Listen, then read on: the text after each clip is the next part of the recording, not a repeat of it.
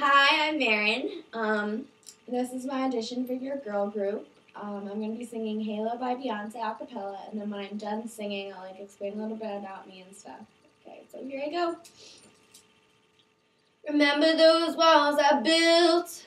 Well, baby, they're tumbling down. I didn't even put up a fight. It didn't even make a sound.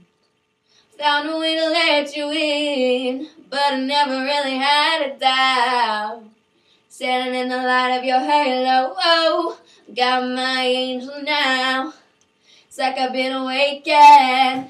Every rule I had you breaking. It's the risk that I'm taking. I ain't never gonna shut you out. Everywhere I'm looking out, Baby, I can see your halo. You know you're my saving grace. You're everything I need and more. It's written all over your face. Baby, I can see your halo. I pray it won't fade away.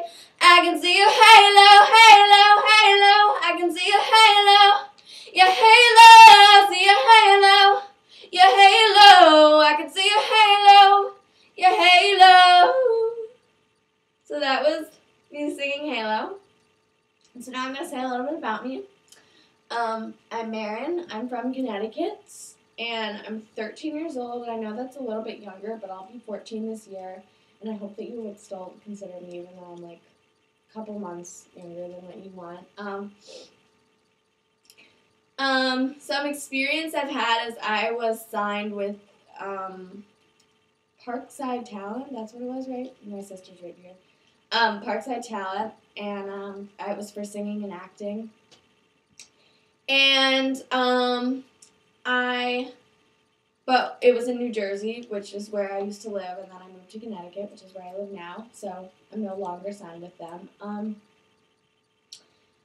I have done a lot of plays um, since I was little because I love singing, and I just don't think I have a like musical play voice. I think I have more of like a different voice than what most people in musicals are looking for. So that's why I decided to audition for this because I've always thought I didn't have the right voice for a play. So um